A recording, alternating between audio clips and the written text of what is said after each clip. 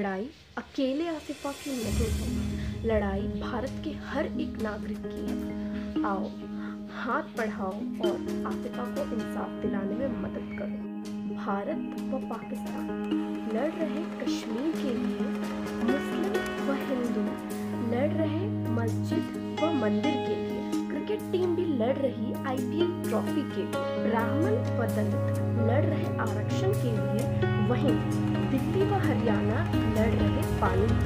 ब्राह्मण व दलित लड़ रहे आरक्षण के लिए। वहीं दिल्ली व हरियाणा लड़ रहे पानी के लिए।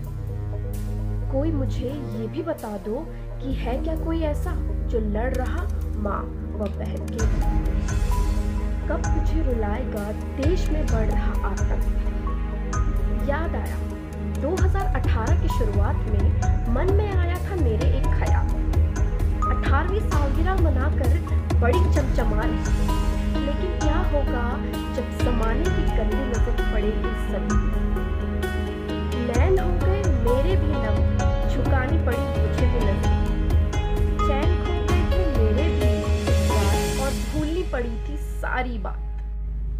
धीरे धीरे जीने लगी मैं अठारहवीं के दिन गिन गिन सोच रही थी कि आखिर क्या होगा? साल के अठारहवें दिन।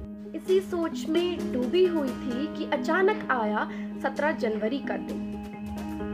सुनकर मैं डर गई, सहम गई। साथ मेरे सदी भी थम गई। चिंता कर रही थी मैं सदी अठारहवीं की, पर यहाँ आठ साल की परी दे गई कम जी हाँ मैं बात कर रही मात्र आठ साल की परी आसिफा बानो रहते हम भारत में कश्मीर हमारा हिस्सा है, पाक को इसी बात का गुस्सा है। कहानी है एक पुरानी, कश्मीर है महारानी, पीछे है इसके हिंदू व मुसलमानी। बड़ी आसानी से कह देते हो कि रक्षा करेंगे हम, पर दिख नहीं रहा दम। दुनिया में अब ही कदम ही तो रखा था बानों ने अपने नन्हे नन्हे पैरों से। सावधानी व संध्या कहाँ जानती थी?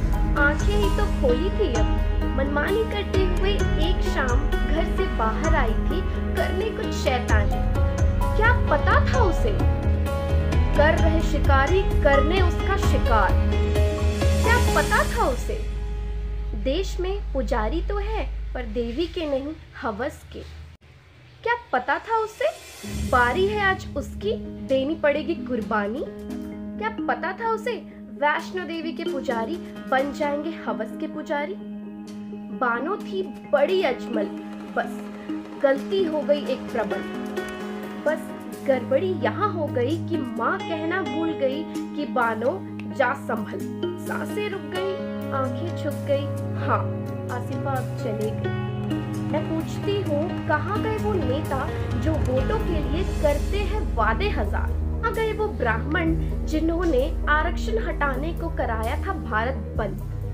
कहाँ गया बजरंग दल कहाँ गया मोदी का विकास? मैं पूछती हूँ, क्या बदल गया रैली व कैंडल मार्च से? मैं ये भी पूछती हूँ कि आखिर क्या बदल गया स्त्री सशक्तिकरण से? मैं ये भी पूछना चाहती हूँ कि आखिर क्या बदल गया निर्भया कांड के बाद? कोई मुझे ये भी बता दो कि आखिर मोदी का विकास औरतों का विकास नहीं? कोई मुझे ये भी बता दो कि आखिर लड़कों कि कहाँ थे पूरी रात? ये भी जानना चाहती हूँ कि लड़कियों के कपड़े होते हैं छोटे या लड़कों की सोच भी होती है छोटी। मुझे कोई ये भी बताना कि बानो जैसी नन्ही परियाँ कब तक देती रहेंगी कुर्बानियाँ? मैंने आज ही क्यों लिखा? जब घट जाती घटना, तभी क्यों इतनी कहानियाँ?